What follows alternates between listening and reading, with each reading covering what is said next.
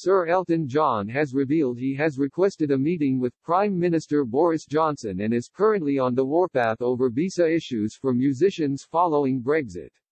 Sir Elton John, 74, has spoken out after requesting a meeting with Boris Johnson, 57, over post-Brexit touring issues he is currently worried about as a musician.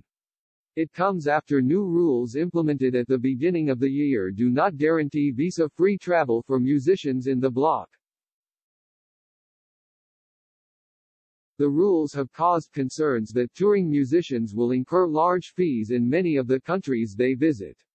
Although the Department for Digital, Culture, Media and Sport, DCMS, previously said it had negotiated with 19 EU countries to allow British musicians and performers to conduct short tours without the need for a visa, Sir Elton has slammed this as a rehash of what we already know. Addressing the issue during his Rocket Hour show on Apple Music One, The Cold Heart hitmaker claimed the Prime Minister has yet to respond to his request for a meeting. The singer said, The Rocket Hour has a special theme this week. Every artist that I am going to play is a young British artist who at the moment is not able to tour because of what happened with the Brexit situation.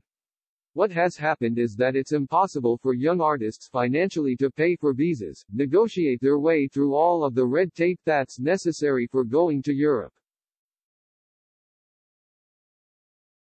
It's financially impossible for them to do so. So I am on the warpath to try and get this sorted out. And I've requested a meeting with Boris Johnson, I've yet to hear back from him. The star, who announced yesterday he has been forced to delay his forthcoming European and UK tour due to injury,